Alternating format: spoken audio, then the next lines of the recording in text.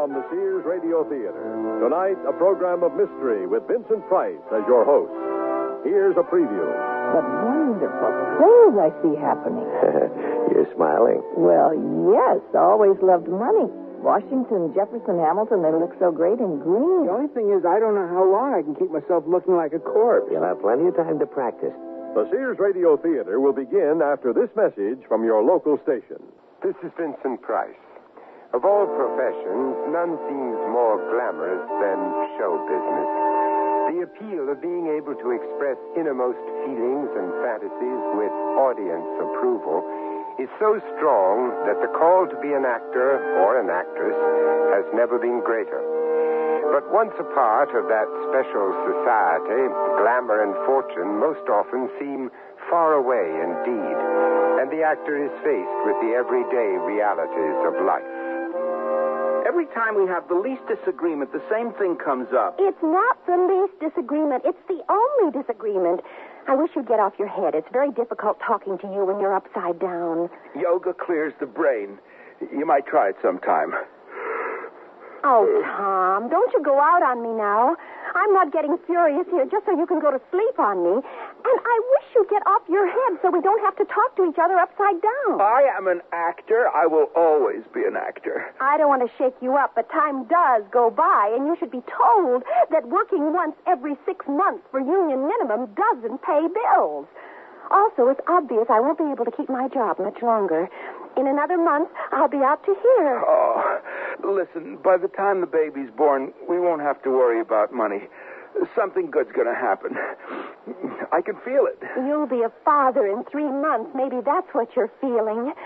Why can't you get a job until I can help out again? Don't you think I'm trying? I'm not exactly sitting around waiting for the phone to ring. No. You're standing on your head waiting for the phone to ring. I'm asking you to forget acting until the baby's born. Go out and get a job. Any job. I will not be made to feel guilty. You will not shame me into menial employment. Now, it may seem strange for most of us to hear a man discuss some of his most intimate problems while standing on his head. In this case, you will soon learn that a man who engages in argument while standing on his head may quite easily become unbalanced. An upside down mind thinks of odd solutions, deadly, dangerous solutions. And that's just the beginning of our story.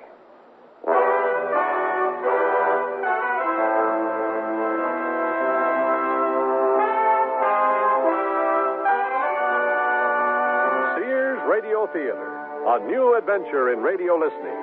Five nights of exceptional entertainment every week. Brought to you in Elliott Lewis production of The Sears Radio Theater. Our story, Improvisation by Shepard Menken. Our stars, Shepard Menken, William Schallert, Janet Waldo, and Mary Jane Croft. The Sears Radio Theater is brought to you by Sears Roebuck and Company. Sears, where America shops for value.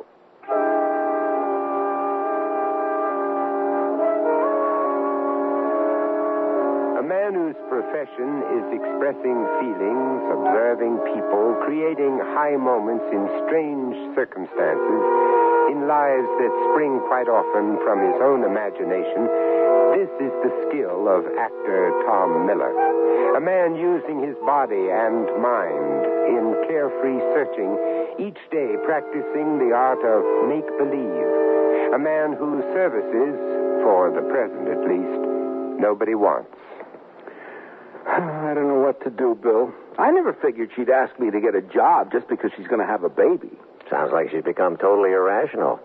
But I warned you when you asked me to be best man at your wedding. No, don't tell me. I don't want to hear anything you have. Look, Tom, we're both actors. We're both sitting around an empty rehearsal hall. We're both unemployed, and we both know about women outside of show business. Oh, if I give up now, even for a little while, do you know what I'd lose? Your psychic freedom, your art, your self respect. Three years of trying. When the agent calls, I won't be home. If the phone rings, I can't answer it, and I won't be able to call back. What'll people think? An actor who doesn't pick up a ringing phone has got to be dead. Bill, what am I going to do with Anne? Kill her. Oh, that's no good. I'd miss her. Probably not a good idea then. If you got caught, they wouldn't give you a phone in jail either. If I can't get a phone, I ain't going to jail. Hey, maybe we can find answers in an improvisation. I'll be the warden. Hmm. I don't see that you have much choice, Tom. I can't give you a phone. And a leave of absence, well, that's, that's out of the question. No, honest, Warden, if you let me out just this once, I might get the part and be a big star. I'm sorry, son, but you killed your wife and unborn child. You gotta pay the price. No more auditions. Oh, you don't know what you're saying, Warden. My agent will drop me. I'll lose my Screen Actors Guild card. Other actors won't accept me. You should have thought of that when you brutally murdered that poor girl. What do you mean, brutally murdered? She hardly felt a thing. That's irrelevant, son. I injected her with truth serum. I don't want to hear the details. But it wasn't the truth serum that killed her. Please, son, spare yourself this agony. No, no, she had to tell the truth. That's what killed her. It was the truth that killed her. How horrible. Did you know her mother was a tuna fisherman? A tuna fisherman? what am I going to do? You could leave her. What can she do to you? Leave her. Don't be ridiculous. Things are bad enough between us. I've got it. Move to England. Anybody in England loves actors, and they got a heck of a welfare system. Let's go back to murder. What if I murder you? No sense of humor. Okay. What do we got here? You will only be an actor, and you need big money right away. You tried legitimate ways, but not, you should excuse me, illegitimate. What the hell are you talking about? I got an idea. About three months ago, you said you couldn't make payments on a life insurance policy you had. Mm-hmm. What if you borrowed the money and got yourself reinstated? Now, where am I going to borrow money? But uh, never mind that now. Remember that little shtick you did that nearly scared the pants off me a couple of days ago? That was no shtick. I do these things. Well, what would happen, let's say, if something happened to you and you found yourself auditioning for St. Peter? Well, Ann would collect $120,000. Yeah, that's pretty good. As a matter of fact, it's very good indeed. I think maybe, as soon as we can make all the arrangements, you're going to die.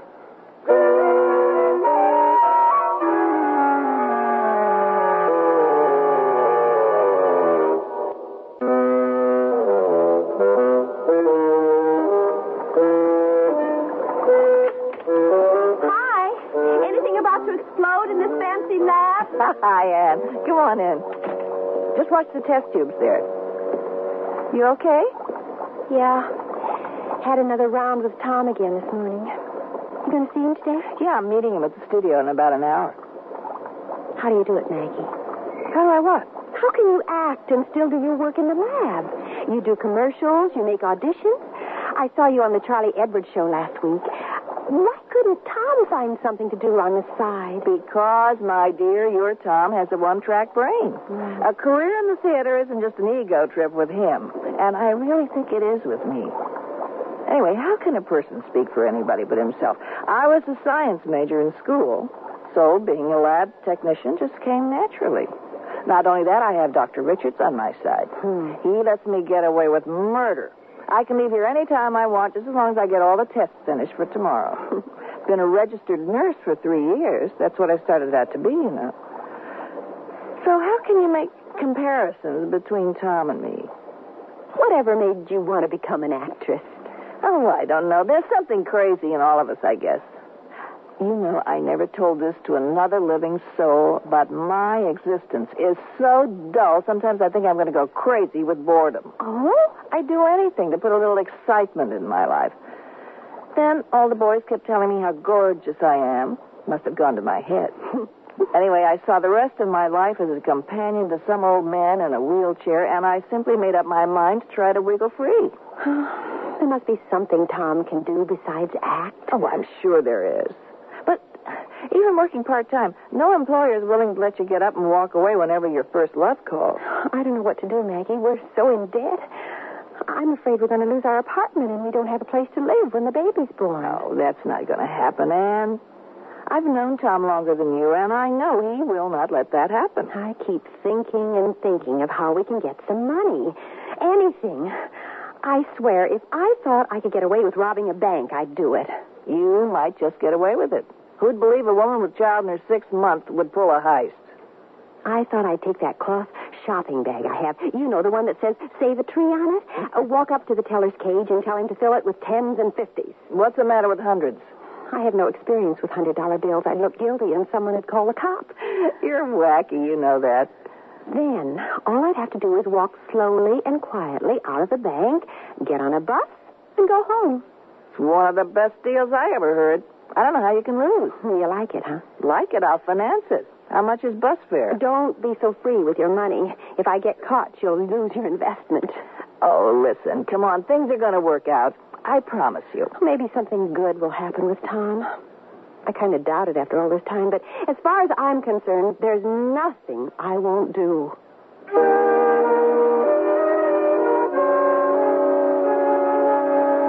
Hi, guys. Am I interrupting? Come on in, Maggie. What's going on?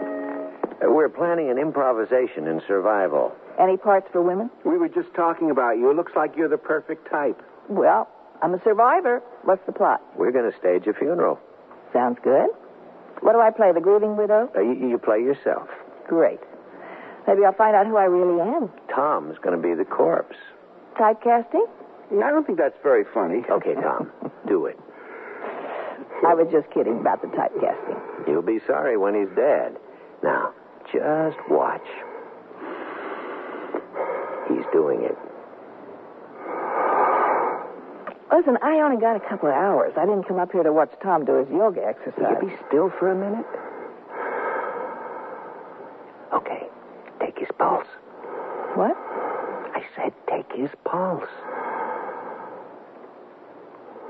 Wait a minute. I can't find it. Keep trying. Oh. I can't find his pulse. He has no pulse. Put your hand on his forehead. He's cold. Hey, come on now. What's going on here? Nobody can do that. Well, you're looking at it. I don't believe this. He's dead. I don't know how he's doing it, but this man's dead. Maggie stand frozen watching Tom as he lies motionless on an old daybed in a corner of the almost bare rehearsal hall. What they are witnessing far surpasses anything that might be labeled mere talent. Through concentration and absolute muscular relaxation, Tom has caused himself to appear lifeless. The two stare in astonishment. A small sideward twitch of the mouth breaks the statue's stillness of Tom's frozen face. An eyelid flickers. A moving finger brings attention to his right hand. Suddenly, as if attached by strings, both eyes open at once and stare vacantly at the ceiling. Oh, He's all right. He's going to be all right. oh, it's incredible. I've never seen anything like it. hi there. Hmm. What time's it getting to be? 2.30. You were out about 10 minutes. Mm, very refreshing. Mm. Refreshing. You were dead.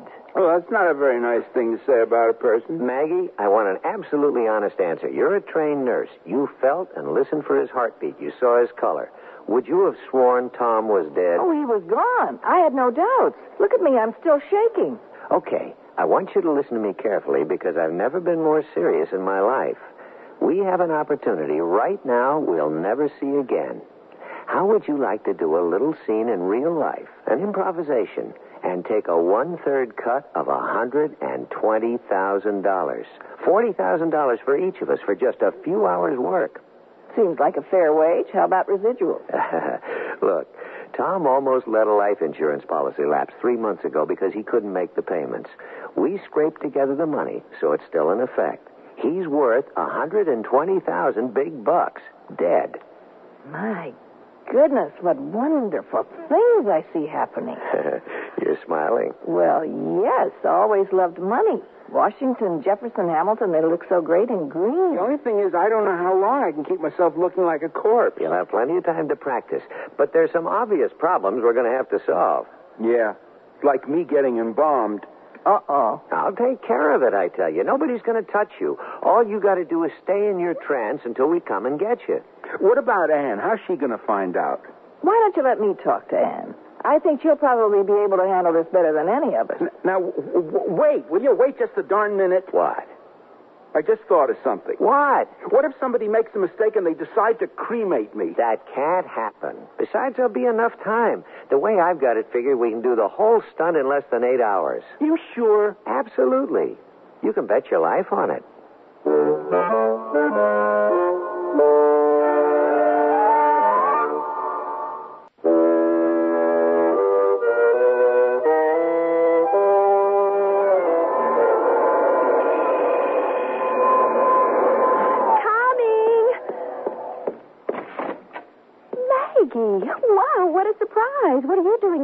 Here time of day? Come on in.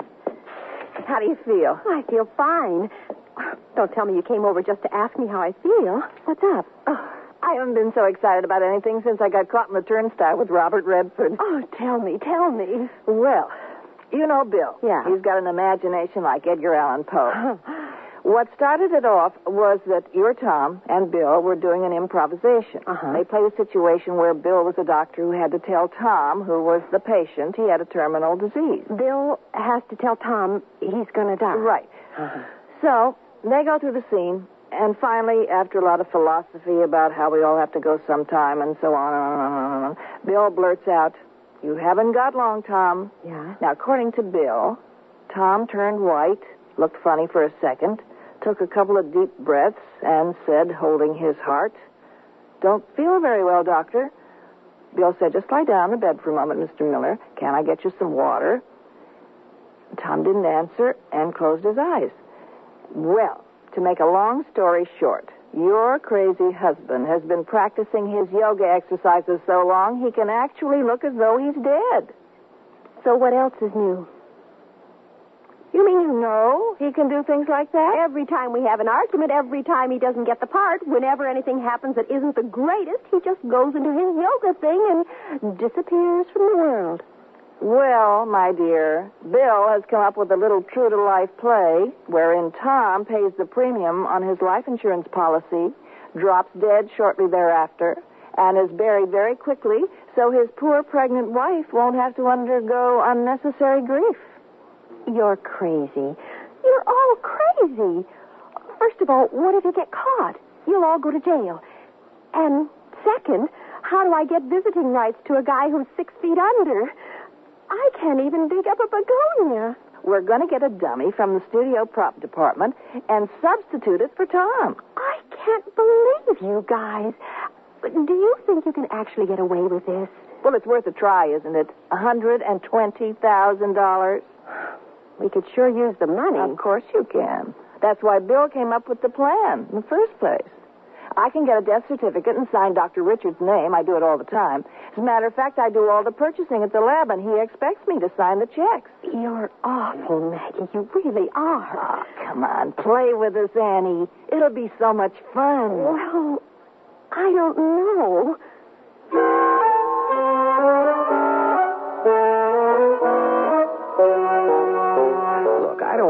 Look, I don't want anything to go wrong any more than you do. I'm not convinced. It's me that's going to get buried. I. What I? It's I who am going to get buried. Oh, what the hell's the difference? How can you correct my grammar at a time like this? There's always time for good grammar, Tom. I suspect your problem is that you have a fear of depths. How do you know I won't suffocate in that box? They don't put you in a box. Well, how do you know? My Uncle Max was a mortician. Well, I'm scared. Okay. I'll tell you what we can do.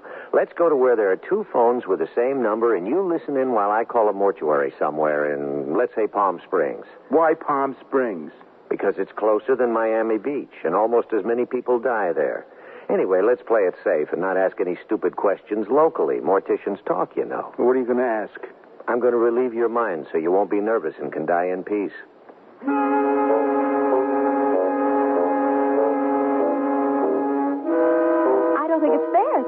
But the idea is Bill's. That's worth almost everything. That's not the point. All right. I might just as well come right out with it. I know all about you and Bill. What about Bill and me? I know you've been dating. At least. And what does that mean, at least? It means that if you two decide to get legal, you come out with 80000 and Tom, who's taking all the risk, only gets 40 Now, wait a minute. I resent your implication that Bill and I are lovers. I don't care if you resent what I said. The fact is that at the end of your rainbow, there are two pots of gold. And another thing, whose insurance policy is it anyway? Yeah, okay. All right. I see your point. I'll talk to the boys about it.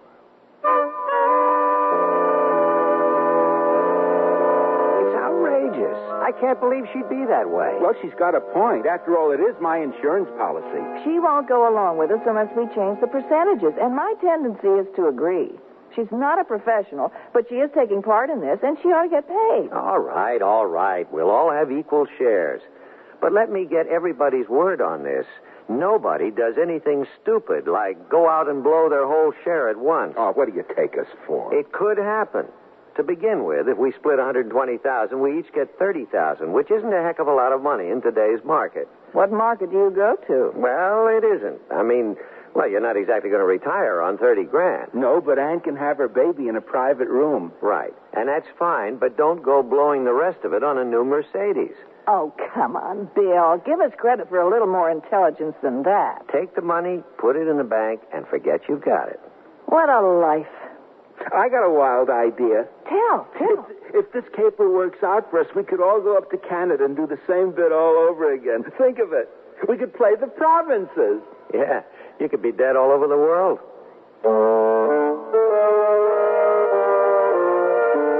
Okay, it's ringing. You can pick up the other phone now.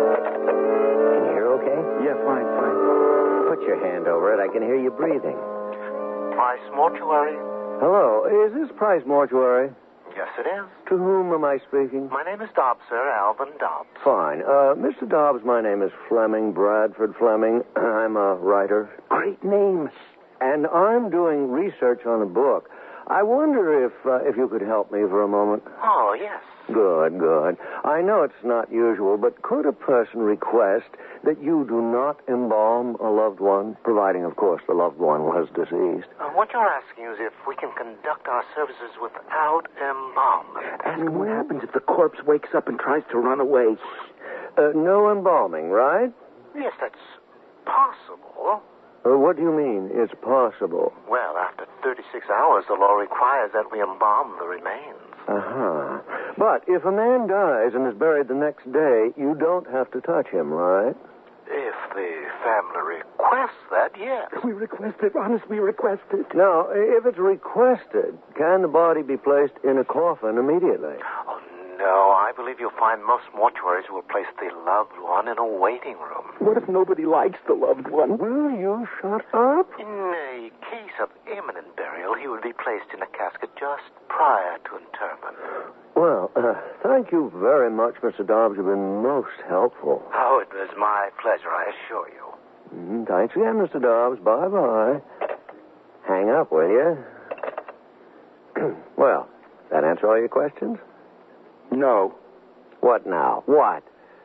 It just occurred to me that if I go through with this cockamamie scheme of yours, if I die, get buried, collect insurance, how is Tom Miller, namely me, going to materialize two days later looking for a job as an actor? Will you tell me that? You never thought of that, did you? The money just isn't worth it, Bill. I'll find another way out of the mess I'm in. And as far as playing dead, well, you can just forget it. I'm out.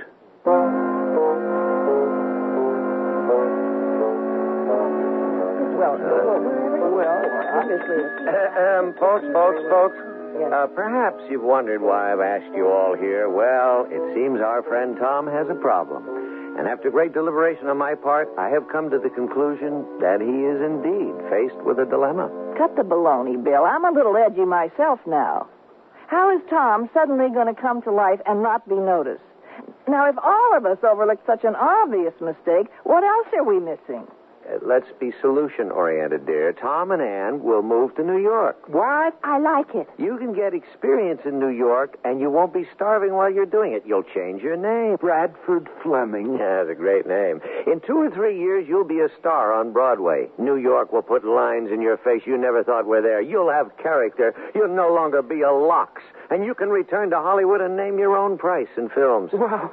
I'll bet I could do it. And best of all, no one will know who you are. Tom, you're only a shadow of your future self. Oh, I know it. I feel it. It's settled then. Maggie, my love, will you rip off a death certificate from Dr. Richards, your trusting employer, and sign it with a reasonable facsimile of his name? I will shortly thereafter assume the identity of dear Dr. Richards, bearing legal document and corpse to the mortuary of our choice. Children, I do believe we have begun our charade.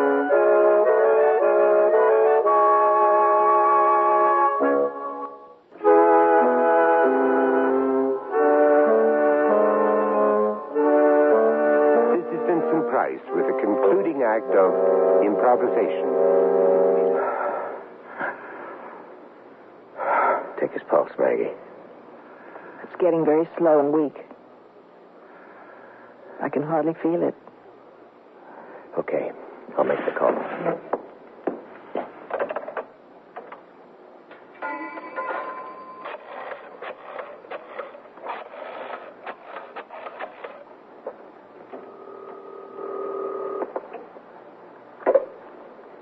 Witherall Downs Mortuary. Uh, yeah, this is uh, Dr. Hamilton Richards. I'm at 9463 Carrington Avenue. It's uh, rehearsal hall, room two.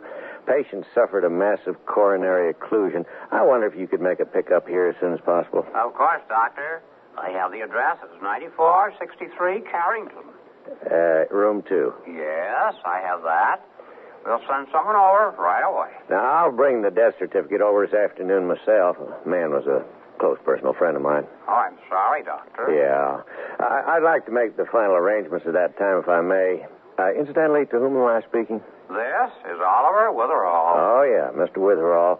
I'd like to assure myself of one thing. Yes? There are extenuating circumstances here. The uh, deceased was a close friend, as I said, and it was uh, his wish that I assume the position of executor of a very meager estate. I understand. You know, my, my friend's widow hadn't learned of this yet, and, and I'd like to keep it from her until the very last moment. She's uh, carrying a child of the deceased, and the pregnancy's been a very difficult one. I quite understand. well, I'd like interment to take place as soon as possible. I, I think it'd be best for everyone. When would you like to uh, schedule the services, Dr. Richards? Ah, well, would it uh, would it be possible to make all your arrangements for uh, nine o'clock tomorrow morning? See, I'll, I'll take care of the casket and the finances later this afternoon. Certainly, Doctor. I'll see you later, then.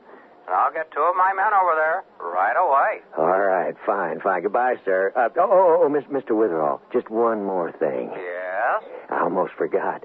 Uh, no embalming. Absolutely no embalming or chemicals of any kind. I'm glad you mentioned that, Doctor.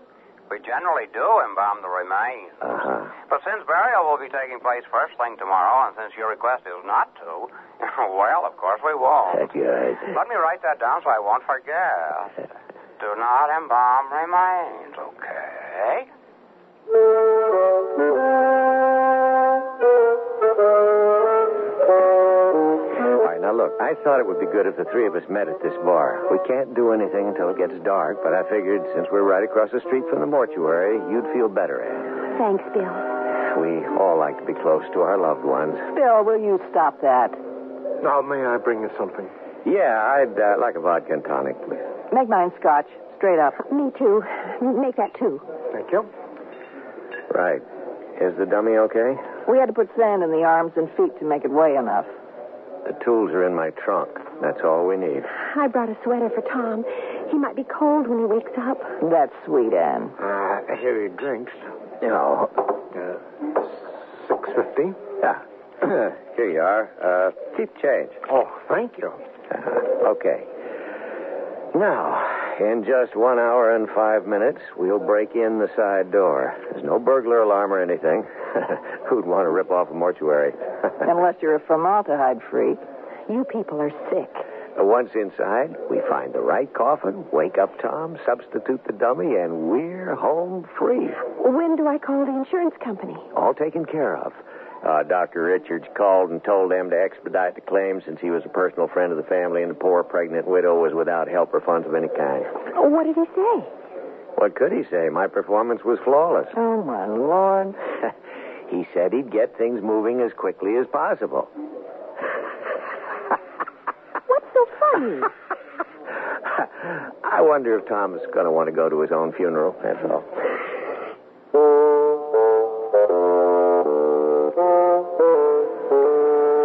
Had this job beautifully planned. How was I to know they put a security lock on the door? What time is it? It's almost midnight. Oh, what would happen if we just broke one of the little glasses on the back window? Then you could put your hand in and unlock it. Good idea. Let's try it. Maggie, you go around back to where we parked the car. When I give you the signal, blow the horn for about two seconds. It'll cover the noise of the window breaking so no one will hear it. Gotcha. Okay. Right there. Hey, give me the hammer, Ann. Oh, here. Now.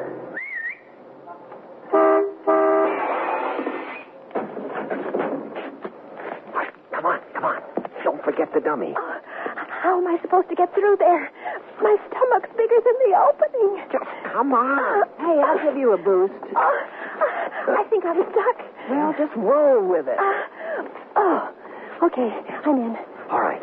Now I'll boost you up, Maggie, and then I'll pass up the dummy. Okay. Give me the dummy, dummy. Uh, you've spoken to me with great endearment lately. Why don't you marry me and give me a chance to fight back? Is this a proposal? What better time? Oh, the arm broke on the dummy. We're beginning to leak sand. Try not to let that happen. I feel like I'm baking a cake and spilled the sugar. Let me get this flashlight working here. I may faint. Coffins. Nothing but coffins. Here's a pretty one, satin frills. They're all open. Yeah. I wonder where they keep the stiffs. I mean, Tom. Tom, Tom, it's Ann. It's no good, Anne. If he's still in his trance, he won't hear you. right. What are you people doing in here? Why, uh, nothing, sir. Dr. Richard. Yeah, you see, uh, Mrs. Miller here learned about the death of her husband after you locked up for the night. Yes? Uh, when, when, when she heard about the mourning arrangements for burial, she insisted on seeing the body tonight. What's that thing you're carrying? Uh, well, uh, actually, that's a, a dummy. See, uh, he's leaking sand. His arm broke open. Nasty cut there. You're a liar. Uh, no, no, ac- actually, it is a dummy. Say, wait a minute. Who are you, anyway? I'm an investigator for the Borderline Insurance Company. That's who I am. This is Mr. Shakley, Dr. Richards. Doctor, indeed. Is this the man who signed the death certificate? Yes, it is. I want to see the body. Where is the body? We always chill the remains before internment.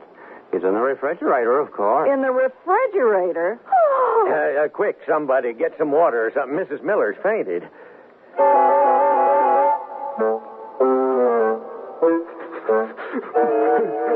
Got another blanket. I'm, I'm, I'm freezing. You're lucky you're still alive, young man. You are all under arrest. Wait, on what grounds, sir, if I may ask, do you make this arrest? On the grounds that you falsely made a claim on our company for $120,000 for the life of one Tom Miller. I'm innocent. I, I, I couldn't have made any insurance claim because I was dead. There, you, you see? There you go again. Well, now, if the man says he was dead, he was dead. He ought to know. Oh, I feel terrible. Hmm, excellent. This court now recognizes the corpus delicti. And there we have the heart of the matter, Your Honor. There is no body. This man never had much of a body, but what there is is alive. I resent that. So do I. Your resentment is overruled. My dear sir, do you have anything in writing that says a claim was made against your company for the sum in question? I don't need anything in writing. You falsified the name of a Dr. Richards on a death certificate, which you must have gotten by illegal means. Hey, where's that hammer we broke in with? Here it is, Your Honor. You are in contempt, sir. How dare you accuse the judge of forgery? I, I think you people are insane. Silence. As a doctor and judge, I think I know more about insanity than you. Your Honor, this dummy's falling apart. There's sand all over the floor. Well, that's all right, Counselor. We'll get it all cleaned up. Thank you, bailiff. I think it's just wonderful how you people can just act at a moment's notice. Yeah. I thought I might be an actor once, but there's so much to do. Life is so short, isn't it? that trick of yours, young man, amazing. We nearly buried you. No person, living or dead, would ever have been buried, Your Honor. It was the defendant's wish that a lovely ceremony be conducted over this dummy here. I don't see a dummy, Counselor. What you're holding there appears to be an old rag. And that's another thing, Your Honor. There isn't even a dummy delicti. This is madness. Witherall, if you don't mind, I would like that death certificate. May I approach the bench, Your Honor? Certainly, Counselor. Mr. Witherall, you almost buried a living man. That would be terrible publicity for Witherall Downs Mortuary. Yes, it would indeed. Yeah, see, the thing people fear most is being buried alive. You should have known Tom over there wasn't dead. Well, how was I to know? You said he was dead. Yeah, but I'm not a doctor. I have trouble separating black beetles from raisins. What's going on over there? What's all that talking? I want that death certificate, Mr. Witherall. Well, actually, I. It'll, Uh, it'll, it'll be in all the papers, Mr. Witherall. I, I don't believe there was a death certificate, Mr. Shakely. I think you're mistaken about this whole affair. I see what you people are trying to do. Well, you'll never get away with it. Yeah, you're out of order there, Shakely. Your Honor, the plaintiff has no documents, nothing in writing, no corpus delicti, no nothing. It's his word against ours. Uh, I mean, the defendant. That's right, Shakely. Sounds like you're trying to cover up in an open shut case. Uh, oh, well, I, I, I see your point, young woman. Yeah, and yours too, Your Honor. Just call me Bill. Now you've got me doing it. What am I doing here? I must be going crazy like the rest of you. Just let me get out of here. Uh, bailiff, would you open the door for the plaintiff? Uh, yes, Your Honor. I thought he'd never leave. Hey, counselor. Yes, Your Honor. Uh, while I'm a judge, you want to get married? Sure, but I gotta change my overalls.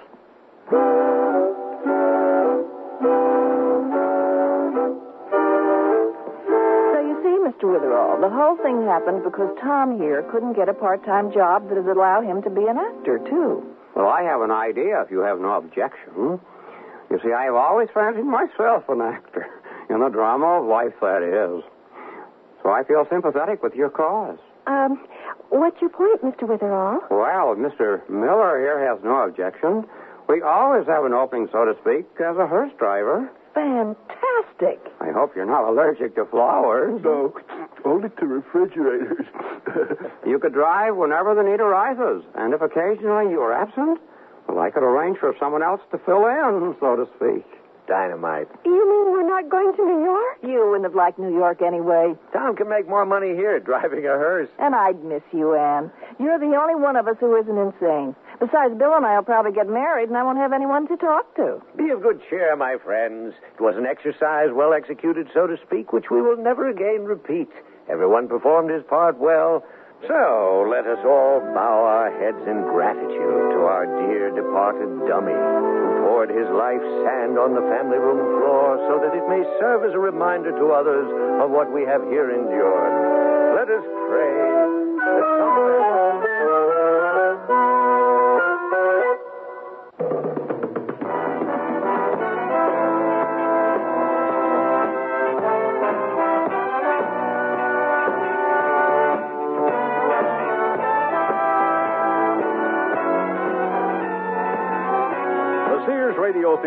been brought to you by Sears Roebuck and Company, where our policy is satisfaction guaranteed or your money back.